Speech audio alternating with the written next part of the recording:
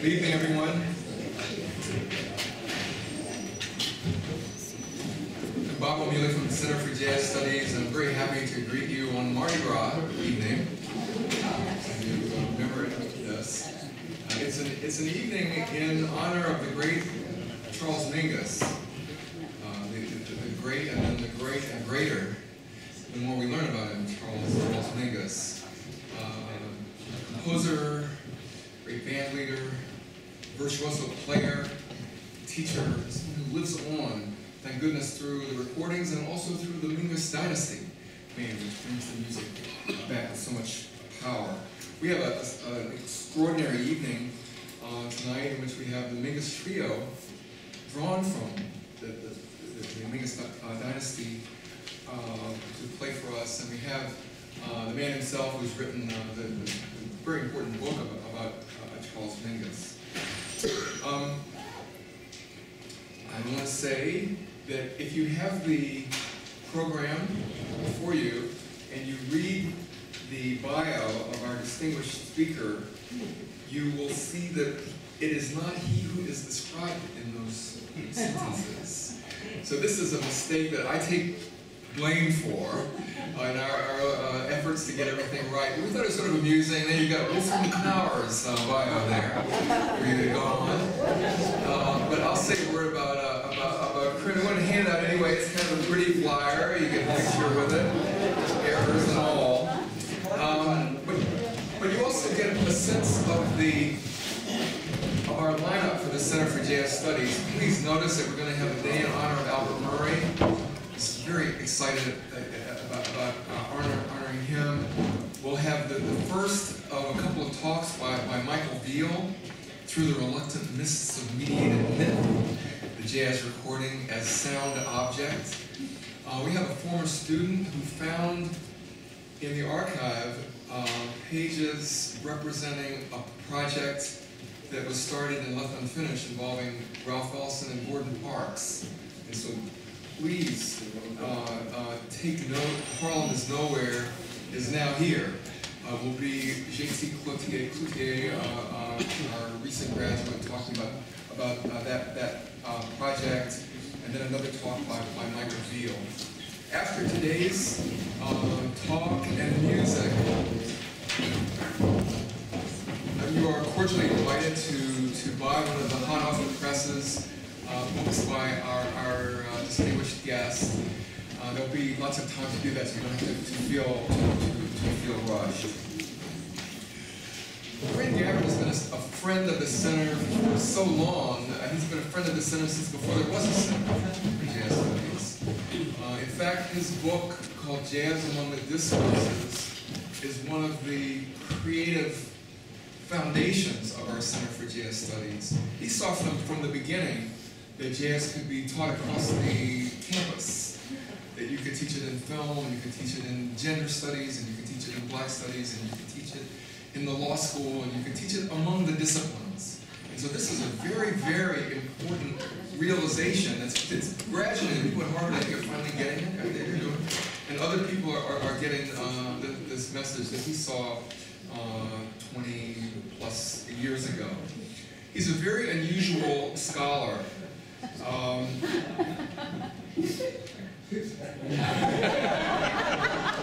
you don't think? Was I bumping into your? I was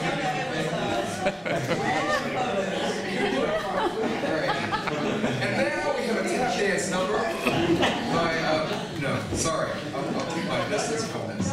It wasn't you. It wasn't me. Okay. Krin Gabbard is, is, is uh, unique in my experience in the academy in that he certainly is an expert in jazz. No, there can be no doubt about that. In fact, last conference uh, last week with Pat Shaw and others, he proved himself an authentic jazz nerd, which is the highest. That, there's no higher praise than that. kind of, with, with, attention to detail beyond detail.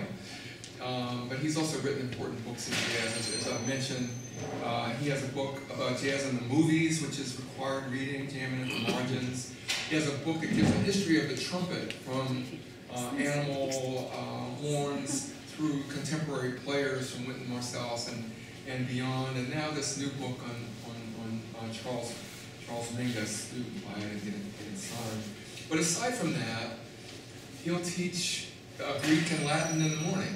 Uh, he's a, a, a classic scholar, am I right? Maybe day after tomorrow morning. but he, he's, that's one of his specialties. He's a specialty, specialist in, in, in film history as well. There's always there's a persistent concern with uh, Freudian psychology and other uh, psychoanalytic schools that, that uh, as you may see tonight, will, will inform his work.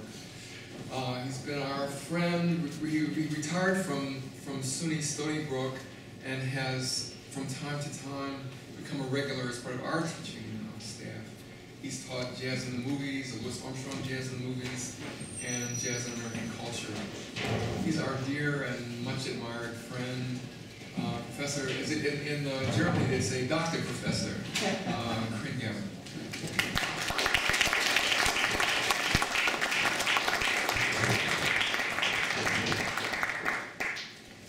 Thank you so much, Bob. Um, that was a lovely introduction. It really does mean a lot to me. And, and thank all of you for coming. Uh, I see some familiar faces here. This is great. Uh, it's very seldom I'm in the same room with so many people I love and admire. And, and here we all are. So thank you for being here. Happy Mardi Gras. Happy New Hampshire. As my dear friend Eric Comstock would say, happy goddamn everything. now, I don't know about you, but when I go to an event like this and someone gives a talk reading from a book, every and then it gets a little bit tedious, just on rare occasions, just standing there reading and I'm sitting there and watching it. So I've given you all this slideshow stuff, and there's some video in there, and there's some audio, which may even play on my computer and this hookup. Uh, we, we hope this works out. Um, but I- I'm going to start you off with um, a little bit of a movie called Jerry Maguire. Now, if you know this movie, you know the crucial scene, you may know where this is going, but don't give it away. Don't spoil it. I want to be the one who spoils everything, okay? So, can we get the lights down? Is this going to make a difference?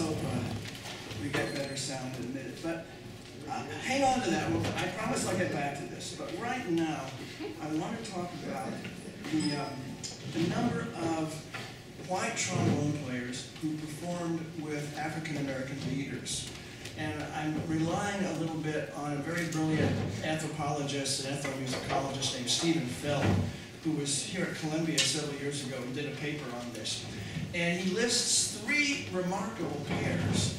First, you have uh, Louis Armstrong and Jack Teagarden. They played together on many occasions, most notably when Teagarden recorded and toured with Armstrong and his All-Stars from 1947 until 1951, during which time he was the only white person in the band. Teagarden was not as flamboyant a showman as Louis Armstrong, but he did not mind being upstaged. Uh, nor did he or many in the audience mind that he was employed by a black man.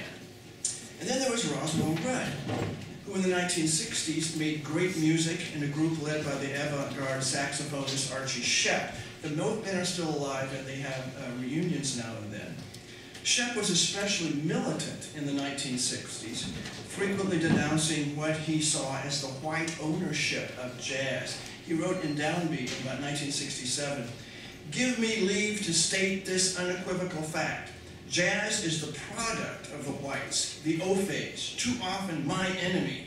It is the progeny of the blacks, my kinsmen. By this I mean you own the music and we make it. By definition, then, you own the people who make the music. Close quote.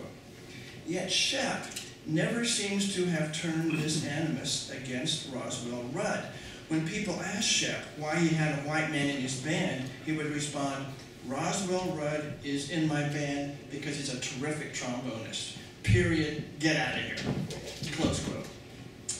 Chronologically, between uh, Knepper, Jimmy Knepper and Charles Mingus are between these two pairs of white trombonists with black employers. And there was by far the most complicated partnership of the three. As Knepper put it, Mingus had, quote, trouble with black and white, but he had exuberance and warmth. Mingus's trouble with black and white may explain his decision to feature Knepper's trombone on the clown, the very first recording that Mingus made with Knepper.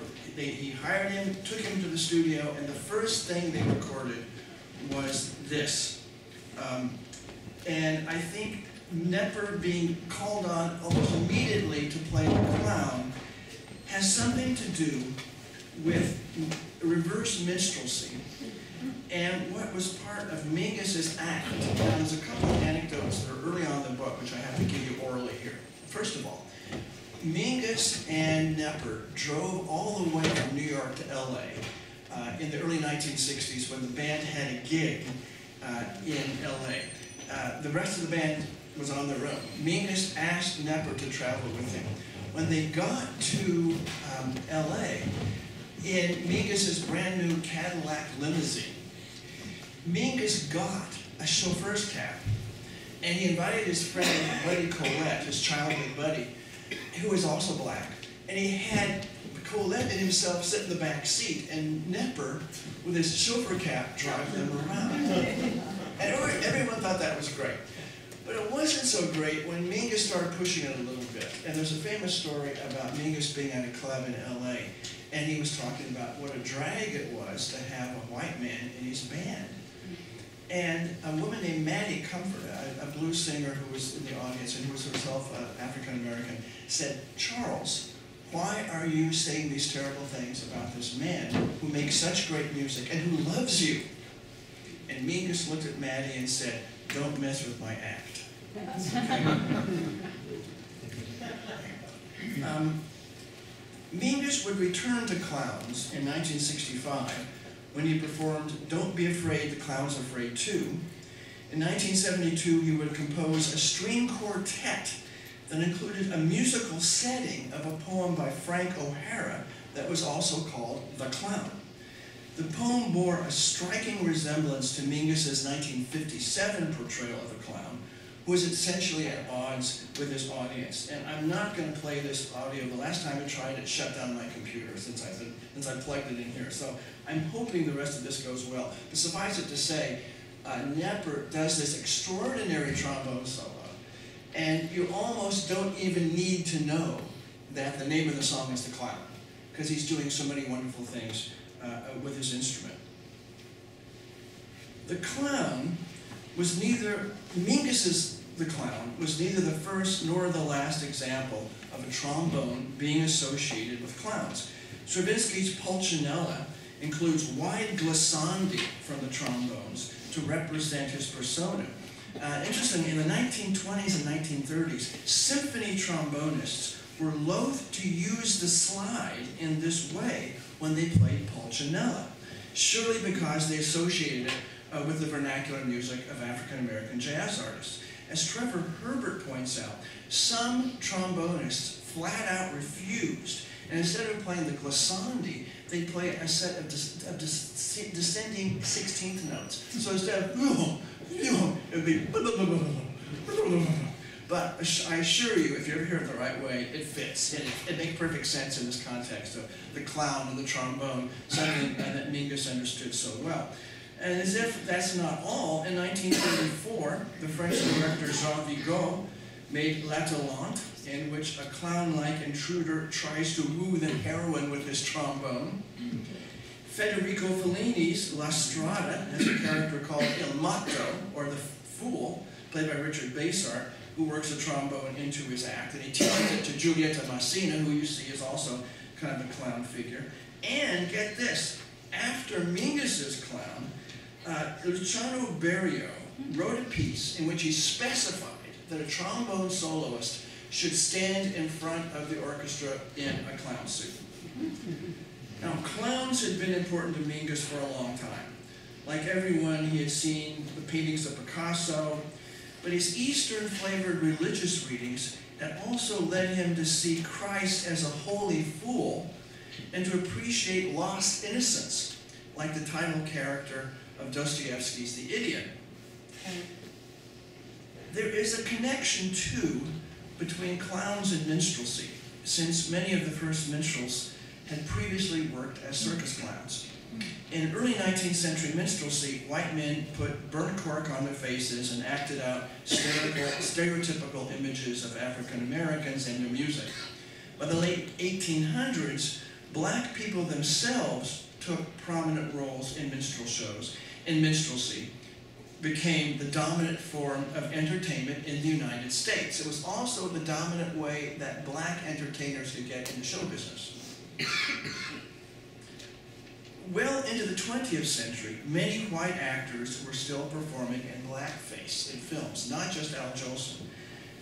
Bing Crosby, Eddie Cantor, Fred Astaire, Mickey Rooney, and Judy Garland all blacked up in movies of the 1930s and 1940s. Doris freaking Day appeared in blackface. When she imitated Jolson in I'll See You in My Dreams in 1952. Mingus was certainly aware of minstrelsy, and he parodies it raucously in his 1961 recording of Eat That Chicken. Jennifer Griffith, who recently wrote a dissertation on Mingus, has found phrases in Eat That Chicken that are strikingly similar to passages in a song by the white minstrel Frank Dumont called Bake That Chicken Pie, recorded in 1907. Mingus may not have known the original recording, but he surely could have heard some version of the tune, or a performance, or on a record. Eat That Chicken also includes references to the verbal asides of Fats Waller and the gravel voice of Louis Armstrong, all of them performed broadly by Mingus himself. Mingus knew that both Waller and Armstrong had to include minstrelsy in their acts or risk losing their audiences. Mingus was thus simultaneously, and of course the, the word for Mingus throughout my biography is simultaneously. There's always multiple things going on when he's performing, when he's writing, when he's playing. Uh, Mingus was simultaneously commenting on white people's stereotypical notions about blacks while nodding to precursor black entertainers who had to restrict their overt parodies of these misconceptions to black audiences.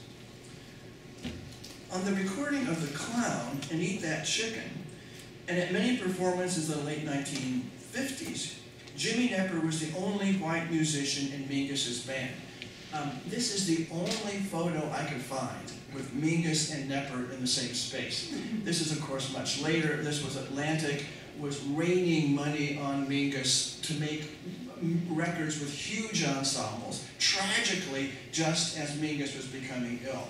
Uh, he died of amyotrophic lateral sclerosis a year after this recording session, and he was already in his wheelchair and neck brace and mostly paralyzed. Although Sy Johnson, who uh, worked with Mingus on multiple occasions and still with uh, the Mingus Big Band, saw him, it's kind of, it kind of breaks your heart. At this session, he could see Mingus sort of lifting this hand and this hand as if he were playing along on an imaginary bass. So I'm going to leave that picture up there uh, in case you want to pick out, you know, there's the young Jack Walrath, there's Dannie Richmond, there's George Coleman, Lee Konitz. So if my paper gets too tedious, uh, you can uh, divert yourself by, uh, by identifying the musicians in that photograph. It would have been unlike Mingus to imitate other jazz artists, white or black, and feign colorblindness. In the liner notes to the Clown LP, Mingus described how he felt about the bass solo with which he begins Haitian Fight Song, which is also on that Clown LP, his first album, or his actually second album for Atlantic. He said, I can't play it unless I'm thinking about prejudice and hate and persecution and how unfair it is. And he could not resist turning some of this emotion toward Knepper.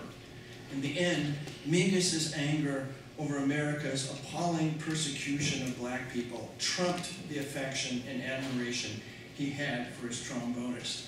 At least at first, Knepper did not mind because he knew he was in on the joke, as when he engaged in another type of reverse minstrelsy and served as the white chauffeur for two black passengers. And he knew that he and Mingus were making extraordinary music together. Now I want to get back to the movies. Elsewhere, I have written about the Hollywood film industry's habit of keeping the bodies of black people off the screen while making abundant use of the romantic potential in their music. The list of American films in which white people fall in love to the voices of invisible black musicians playing in the background is much longer than you think. Just that you're so used to it, you don't notice it. Uh, for example, Bill Murray and Andie MacDowell fall for each other as Ray Charles invisibly performs on the soundtrack.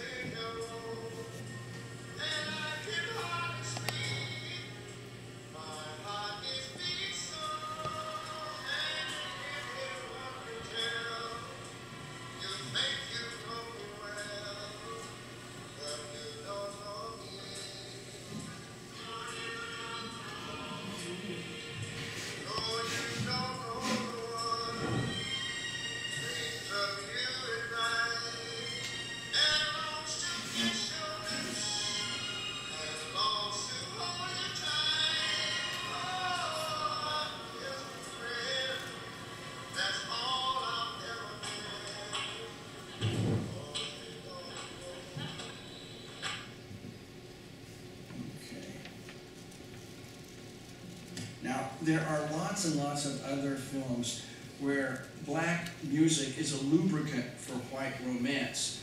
But those scenes should not be confused with the one I'm about to show you in Jerry Maguire, where the couple played by Tom Cruise and Renee Zellweger make love while Mingus's 1957 recording of Haitian Fight Song, specifically the trombone solo by Jimmy Knepper, plays in the background.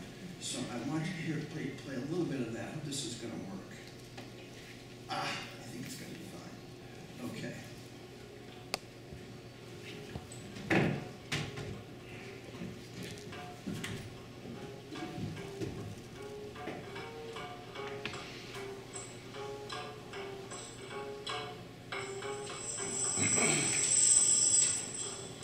This, by the way, is the first recording of Mingus crying out. You listen to his music, he's regularly saying, you know, I'm talking about Jesus, you know, I know I've been wrong. First time on record he cries out.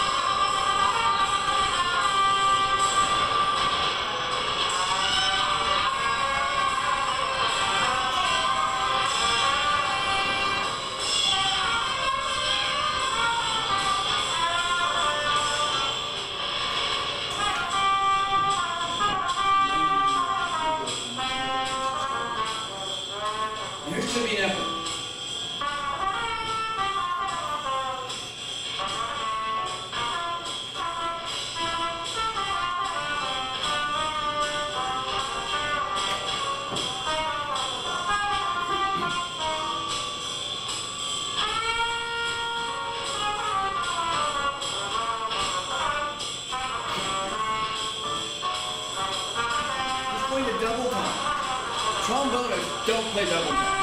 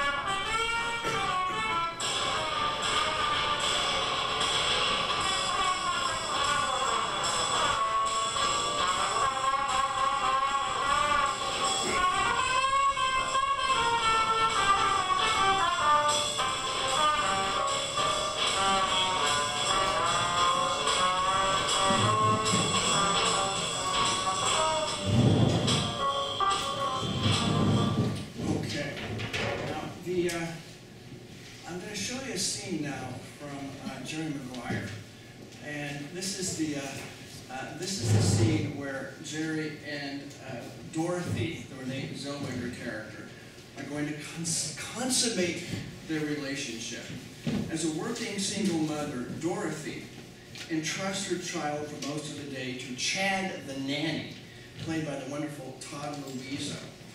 Just before Jerry is going to go in and make love for the first time to Dorothy, Todd, or Chad the nanny, hands him a cassette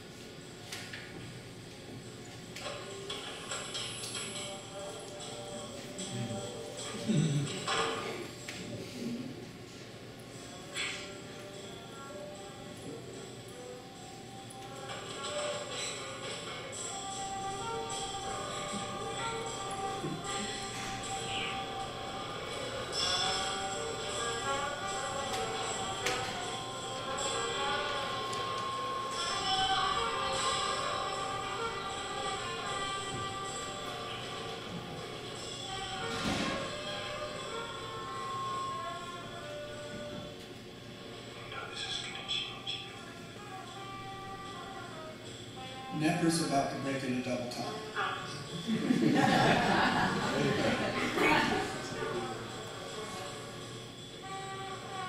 What is this music? Okay, that's it.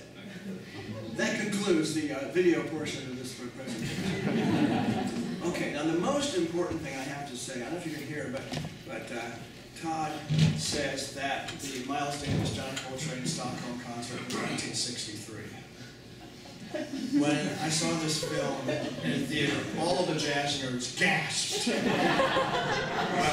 I gasped. It's 1960. I mean, if they're gonna put a jazz nerd in a movie, at least they should be one who has his discographical shit together.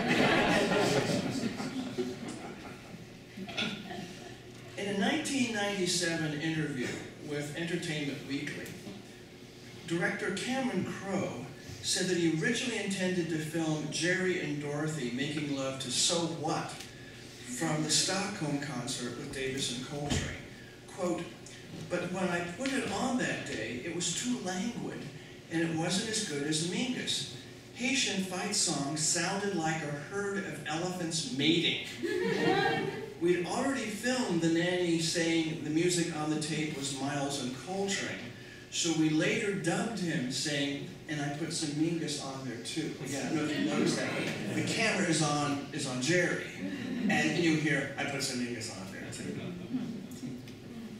I have not been able to interview Cameron Crowe, but I have a few questions for him. First, I'd like to know why he associates the music of Mingus's stripped down unit of five musicians with a herd of elephants. Second, did he know how profoundly he was revising, perhaps even ridiculing, Hollywood's convention of using black music to make romantic scenes for white couples? And third, did he know that Haitian fight song celebrates slave rebellions? And if so, how did the song tie in with the relationship between Jerry Maguire and Rod Tidwell? Uh, the, Tidwell is the football player played by Cuba Gooding Jr. Now, in that scene we saw earlier, Rod insists that Jerry perform for him. Although Rod has employed Jerry as his agent, the idea of a black athlete making demands on a member of the white power structure that controls his career almost suggests a slave rebellion. David Yaffe has even compared Jerry and Dorothy to the Captain Delano of Herman, Herman Melville's short story Benito Cereno, first published in 1855. Just as the lovers in Jerry Maguire cannot make sense of black music with its intense contributions from a single white artist, Delano makes the deadly mistake of not realizing that a group of slaves has taken over his ship and that he's they're manipulating the captain. Neither Jerry nor Dorothy nor Delano can hear a slave rebellion taking place. The Show Me the Money scene has even more in common with the recording of Haitian Fight Song. In both, a white man is performing for a black man, just as Jerry is required to look ridiculous as he loudly exclaims the phrases that Rod demands, so is Knepper putting all his creativity to work at the request of Mingus, just as when he brilliantly played the clown for Mingus on that early recording. And my final question for Cameron Crowe, I would ask if he knew that Jimmy Knepper was white, the only member in white in a group of black musicians. Crowe did, after all, begin his career as a music journalist, and he most certainly knew the work of Mingus. He worked for the Rolling Stone, and he interviewed Joni Mitchell in 1979 when she was making that, uh, that Mingus LP. It is possible that Crowe was in fact using Haitian fight song to comment on the racial dynamics of his film. If that is so, I salute you, Cameron. Nevertheless, Jerry Maguire is still a Hollywood. And so it is no surprise that the white man's story is central at the end.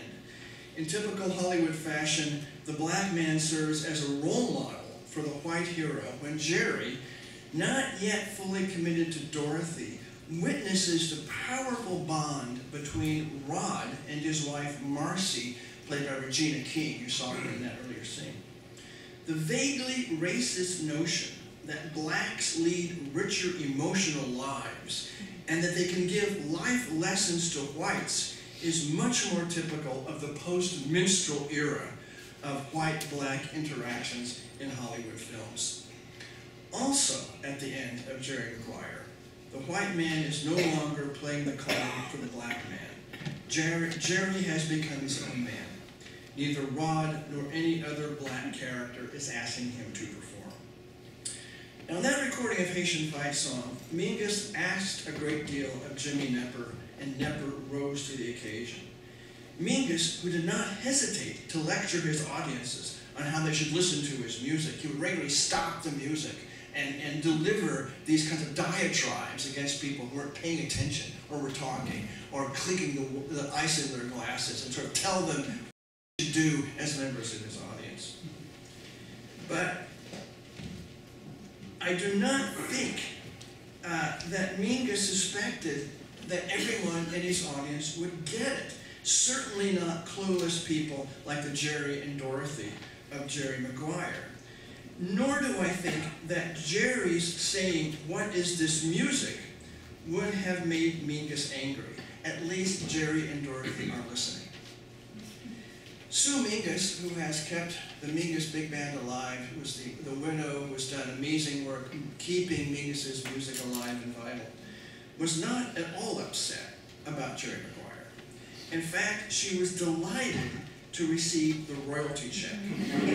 She told me it was the biggest check the Mingus estate had ever received for the